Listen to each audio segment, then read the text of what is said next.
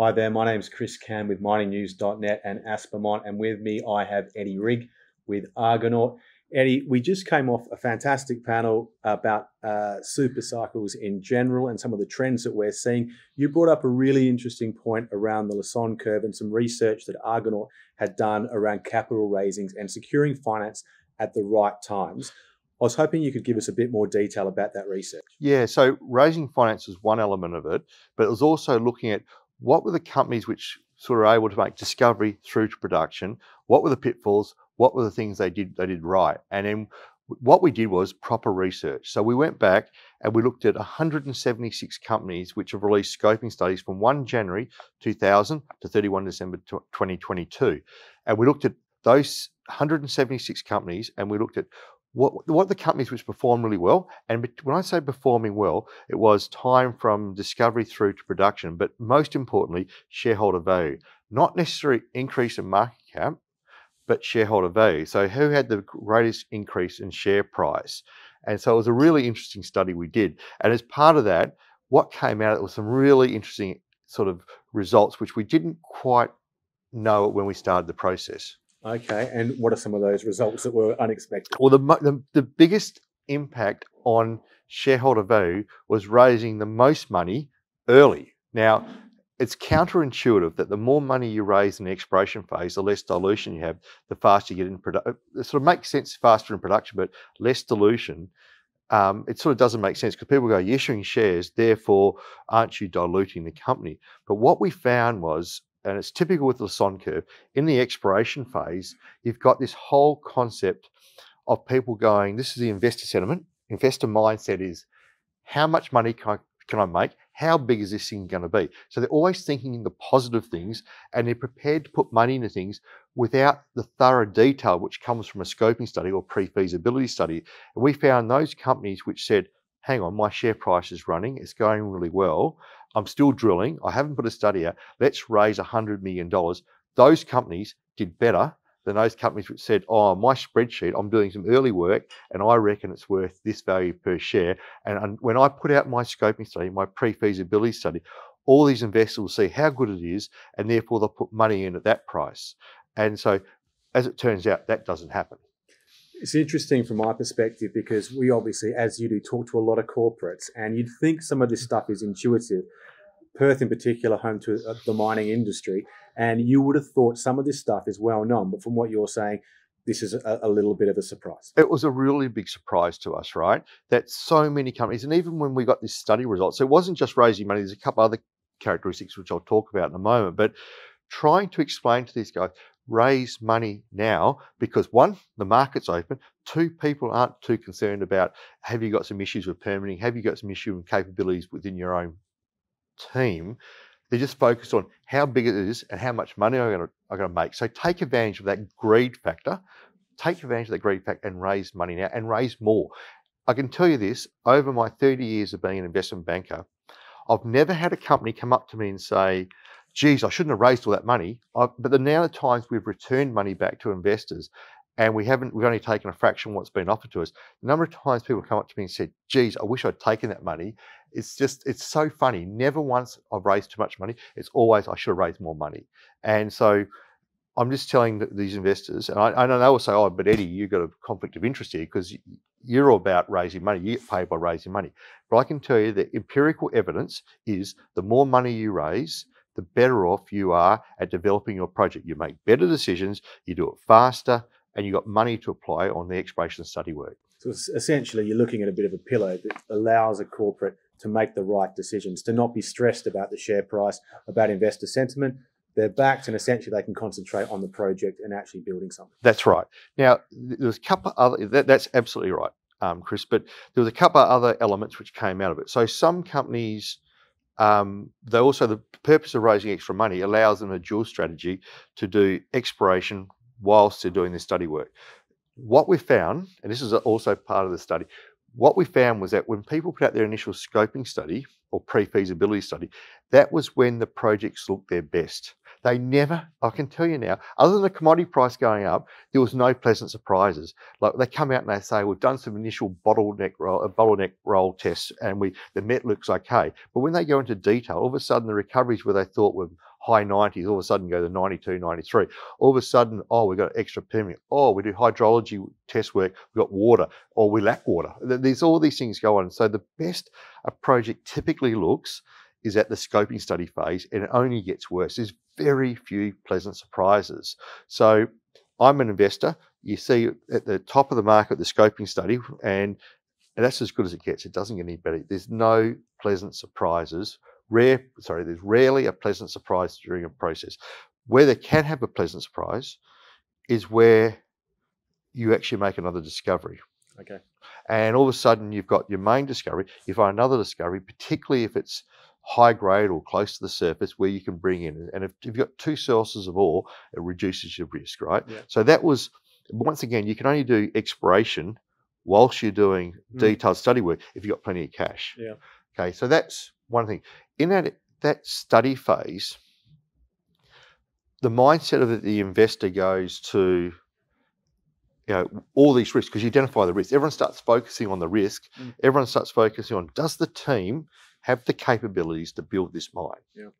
And so there's, it goes to a more of a conservative mindset.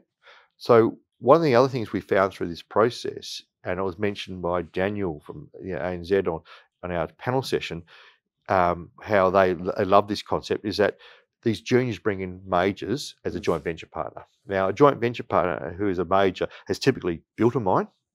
It has the financial capa- case, uh, capa- uh, capability, sorry, capability to do it, and they've also um, they've also got the the routes to market. So some products, you know, it's, it it, has, it doesn't have like a goal with a terminal market. It Mm. actually needs an off-take partner. So these major companies bring all those things, and they bring teams which can do it. So they they address the risk factors which cause the investor to be concerned.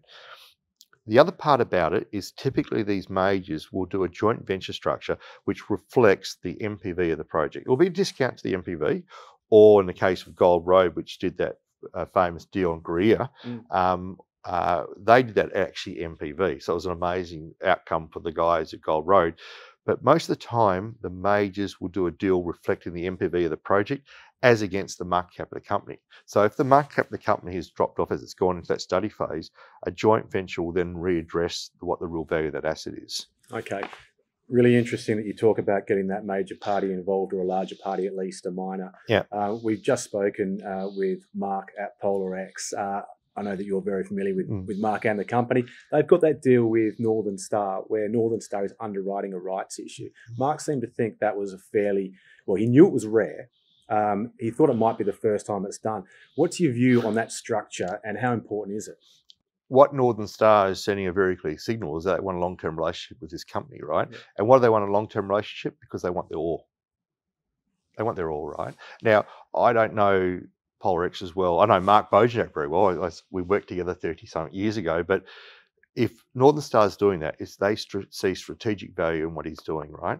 And one of the best ways to do it is give him the money to do it. Major companies, I can say this, major companies, as the evidence as well shows that they're not particularly good explorers. They're better, they're better at buying things which have been proved to a certain level. What Mark's doing with his team is actually proving a project to a certain level. They produce an ore, quality ore. Well, guess what? Um, you know, Northern Star has a solution of processing at Pogo, right? They can process the ore there more efficiently than building another you know, processing facility. So we see more and more of these opportunities where it's like the hub and spoke process with people who talk about where you've got a processing facility. Um, we don't need more processing facilities, in particularly in West Australia, in the, in the in the goldfields. We don't need more processing facilities. We just need those processing facilities full. And there's a lot of juniors sitting on nice ore bodies, so we've got to learn and make sure that these these companies can do these transactions, which allows tho- that ore to go through that processing plant in the most efficient manner. Okay, and the other thing that I wanted to touch on that we brought up on this panel was the supply side response to the coming super cycle. If we're going to be so Yeah. grand as to say it is definitely coming, Yeah. um, a lot of talk is around the demand side, what's driving it. Some of the realities around a supply side response Mm. potentially need to be checked. Is that if that's your view? that's the view, not so much my view, it's the view of Argonaut. And yeah, we've got a lot of pretty intelligent people, a lot of people a lot smarter than me, thank God. Um, but these guys, you know, we, we've got six geologists, a couple of mining engineers, metallurgists, um, chemical engineers on staff, right? But what we do, we go and see projects. We we go and see. We're we're a really demand side, uh, sorry, supply side led firm. We know we go to mine sites. We know when they're going to produce. You know how much they're going to produce. Realistic expectations on production outlooks. Right. We've been involved in and funding. I, I believe since the GFC more new mines, either as equity or debt, around the world than any other if financial intermediary. So that's a big call, but I'm pretty certain that's the number, right? we and but we do know when they're going to go into production. And what happens is, and this is something which goes back to the scoping studies. A company comes out says a scoping study says, I'm going to produce 300,000 tonne of SC6 in three years' time. As soon as they come out with that, all the know, the, the big bulge bracket banks and the and the um, and the government organisations put it into their spreadsheet. And they just assume that's what's coming. Let me tell you, that just doesn't happen. For a start, we saw the SNL research, which I'll put up on the screen. It's typically up to 17 years now for a project of, of significant size to go from discovery into production. So when you put out a scoping study, that's the best a project looks. It's also the best a project looks ever as to a development time frame. You can almost, I wouldn't say double, but because that's just that's too generalistic. But these projects are not coming on stream as fast as people think. We also have a situation where the recoveries are nowhere near as good as we think. So, you know, when these companies come out and say we're going to get 70 plus percent recovery, you know, on a lithium project, well, the reality is it's more likely 50. Mm. And we've just seen in a project in Brazil where the recovery's been even way less than that because they didn't realise they had such a fines product, and the fines product on a DMS doesn't recover at all. So all that fines material. So they had a unit of lithium. They said we can recover this much, but of that unit, the reality was about half of it was not recoverable through a DMS plant, right? Because it went off to the side. So ultimately, it might get recovered through a float circuit, but definitely can't be re- recovered from a DMS. So we're seeing this on many different products, and even you know, galena, which is an iron ore, uh, sorry, a, a, lead zinc project, you know, that was supposed to be producing all these tons of, you know, lead units and zinc units. Well, guess what? You know, it's not happening, right? And we've seen it time and time again. The actual the actual production date or the commissioning date is far longer than we thought. And two, the ramp up to full full production levels takes longer or, or sometimes never achieved, never achieved, right?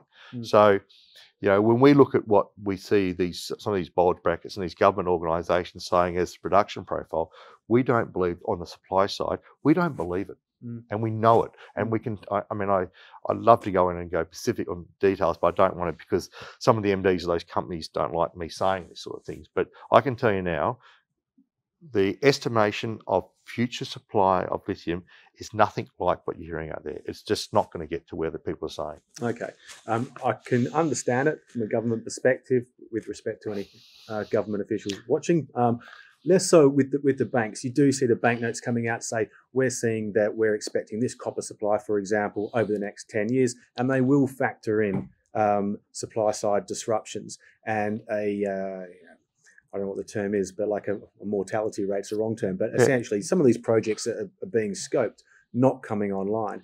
Is it the case of even with that factored in, it's still less? Still less.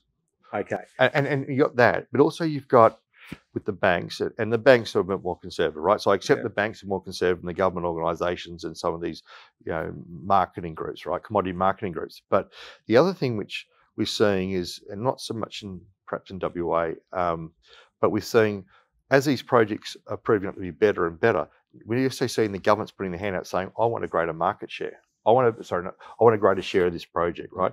And that creates enormous challenges to finance those projects. So um, so not only is it just taking long to develop, the fact is they're becoming more difficult to finance if they're not pretty much in WA. Okay. And while I still have you, Eddie, I just wanted to get your views overall on 2024. What are you looking at in terms of industry trends and then probably investor appetite and some of the trends there too? Yeah. So uh, one more topical is lithium, right? So if you said to me in 2022, um, going into 2023, would lithium go through $3,000 an uh, SC6? I would have said, you know, if it was coming off a low sort of five, 600 buck price, I would have said, oh, I doubt it. I don't think so, but geez, wouldn't that be good? And then it went through 3,000, you know, in uh, late 22 and, and into 23, we go, we'll get to 5,000. Well, went through 5,000. Then, then it went to nearly $8,000, right? Which is just ridiculous, right? That created some problems because um, there was money flowing into the space and there was money flowing into some ordinary projects run by, you know, to be honest with you, ordinary people, right? So that money is going to be wasted and burnt. There's also some great projects discovered like Azure and Wildcat, etc.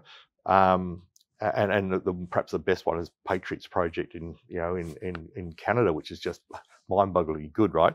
But but what but what what this did was it sort of it created this when you get these ups and downs, Whiptail, we're always going to undershoot on the downside. Someone said to me, you know, when the price was eight thousand, would you see the lithium price back below a thousand bucks. I said, no way. It, it dropped that fast back to below a thousand dollars. It was just amazing, right?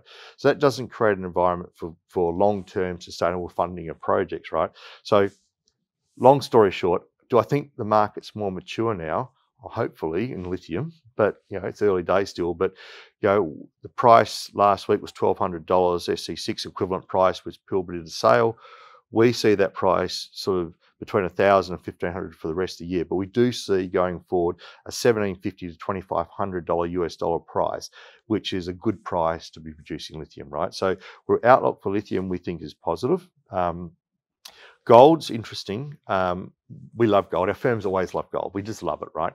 Um, we love gold miners. We love gold. Um, gold's you know all-time record high, US dollar, Aussie dollar, right? That happened, I think, last week. So typically with something at all-time high, you've got to be saying, well, surely it's going to go down or revert to the mean. But on super cycle, that doesn't happen, right? Um, but with all the uncertainty around the world and the fact that the, I think my understanding there's more federal elections globally in this calendar year than there's ever been ever in the history of mankind, right? So creates a lot of uncertainty. And then you've got the US where you've got um, if they're the two leaders, the best leaders of the free world in Biden and um, Trump, then I'll go he, right? So, but um, that creates a lot of uncertainty. We've also got China and we've got Russia doing things in Ukraine. There's, there's a lot of uncertainty in this world. Um, so there's a real argument for gold, right? Um, but what we're seeing is that in the last since December, we've seen most probably that sort of 15 to 25% increase on the major gold producers. We've seen the, the top tier developers pretty much flatline. Mm. And that's really unusual. And with the advanced explorers being completely almost unloved. So at, Arg- at Argonaut's view is that we're going to see this tr- a trickle down effect on on investor interest into those advanced developers, uh, the developers and the advanced explorers, and they'll grab a bite. Yeah, they'll grab a bid. Sorry, mm. and there'll be some interest in those stocks. So we're quite positive on those developers, smaller gold producers, developers, and advanced explorers. So one of our best picks is De Grey. We, we love De Grey. That, that, that's, I'm on record of saying that. But that project is so good. It's mm. so good. But it's been flatlined since December. It was, I think the stock was at 128, 130 in December. It's still 128, 130 today. Whereas a Northern Star's sort of up two or three dollars, and and you know Emerald's up two dollars, you know, up you know, 30 percent. So there's a whole lot of gold producers are up, getting the benefit of this great gold price. But surely the, the, the gold in the ground still of good value. So we, we're pretty positive gold. The commodity I think we're overall most solid on is actually copper. Um, look, you know, copper is is traditionally been the, the best. It's called the, the the Bunnings of the you know the commodity sp- uh, space, right? It's the one which best reflects G- global GDP.